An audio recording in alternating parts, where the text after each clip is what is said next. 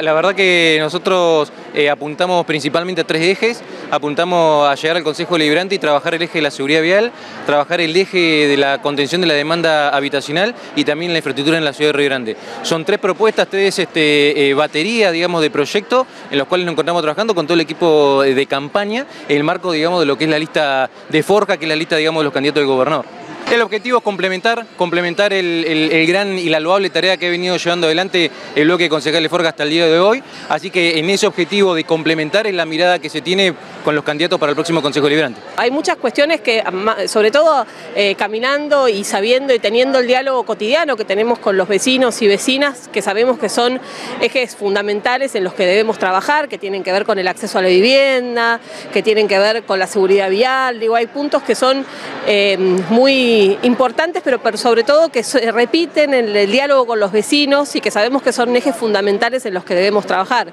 Yo, muchos saben que vengo del ámbito cultural, hace muchos años que me desarrollo en ese ámbito y también hay algunas cuestiones que son muy puntuales que debemos trabajar, pero desde el espacio del Consejo Deliberante, por supuesto, la responsabilidad es para tener una mirada más amplia y para poder trabajar en aquellas situaciones y en aquellas complejidades que son necesarias resolver y que, por supuesto, con un buen acompañamiento de todo el bloque, como esperamos que suceda en estas elecciones, poder empezar a destrabar y a poder empezar a trabajar junto con el Ejecutivo Municipal para que, insisto, eh, las herramientas necesarias lleguen a la ciudadanía.